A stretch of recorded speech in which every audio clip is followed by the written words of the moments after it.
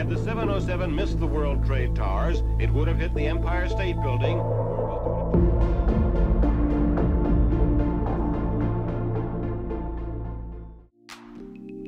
It's the 1980s, and New York City is a bustling metropolis. Streets are alive with music, fashion, and ambition. Neon lights, Broadway shows, and Wall Street's hustle tower in the city at night. Street vendors, dancers, and crowds are everywhere. New York City was seen as one of the best cities in the whole world. Even 40 years ago, New York City was one of the biggest financial capitals of the world, as everybody wanted to go to New York City to get their fair share of the American dream. Media showed the city of New York as a dream city. Everything and everybody was civilized, and the latest technology was available everywhere. The streets were clean, and the parks were green, and New York City was the best city.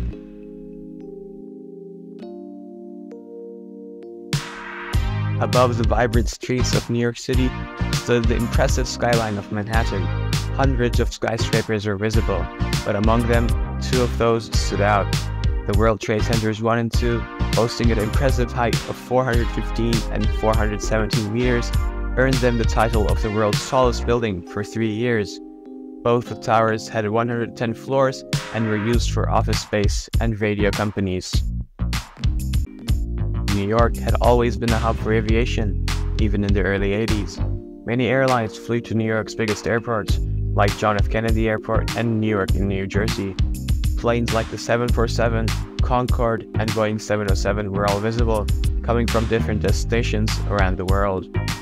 One of the airlines that operated to New York City were called Aerolíneas Argentinas and were the flag carrier of Argentina.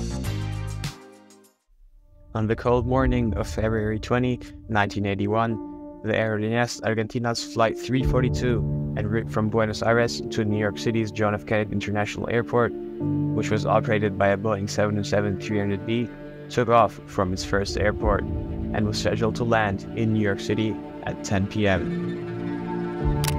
Flight 342 took off from Buenos Aires at around 8 a.m. and headed for its first stop in Guayaquil, Ecuador. The flight refueled and departed at 1.30 am for a quick stop in Miami International Airport. The aircraft stopped in Miami for circa 25 minutes and departed from Miami at 6.30 p.m. It was scheduled to land somewhere around 9.30 p.m. in As Flight 342 approached New York City, the fatigue started to get to the pilots. They had been flying for nearly 14 hours, and the hazy weather in New York City was not helping at all.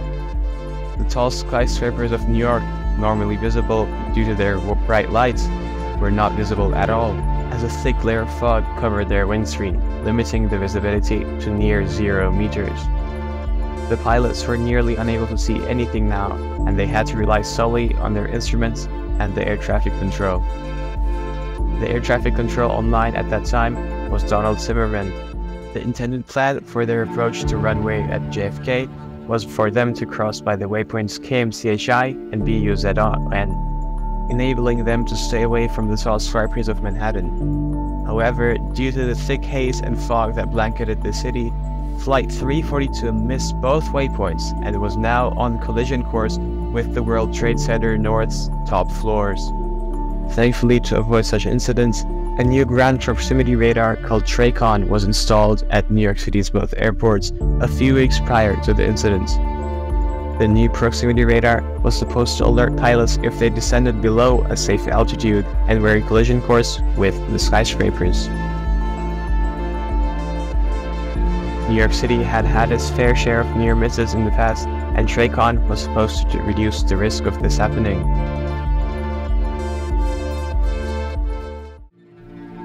Air traffic control was being monitored by Donald Zimmerman at the time, the only officer online. Due to the TRACON system being monitored by Zimmerman, the air traffic control realized that the aircraft had descended into a dangerously low 1,500 feet due to the misunderstandings of the instructions from the pilots. As the 707 was merely seconds away from collision with the World Trade Center, it was noticed by Donald Zimmerman, the one monitoring TRACON at the time. He immediately ordered the 707 to take a sharp right turn bearing heading 180 and ascend to 3,000 feet. The 707 obliged, and disaster was avoided. thanks to the quick actions of the flight crew of the Flight 342 and the actions of Donald Zimmerman, Flight 342 was able to avoid disaster and make a safe landing at John F. Kennedy International Airport later that night.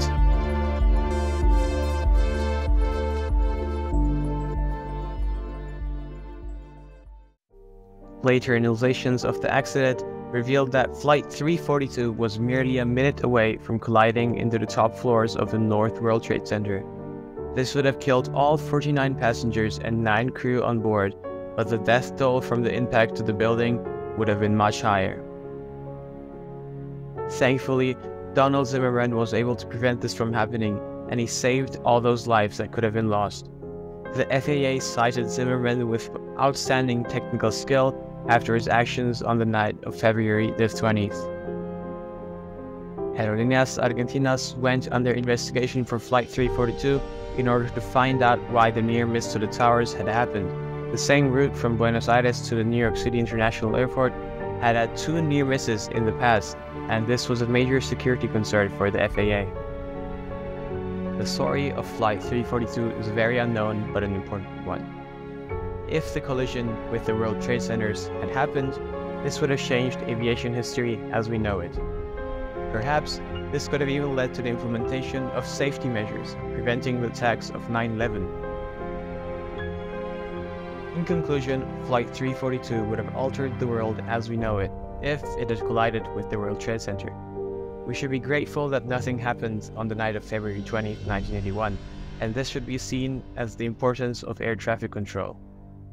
Even though the old World Trade Centers don't stand today, it is important to remember their history and always pay respects to the near 3,000 people who perished in the later 9 11 attacks.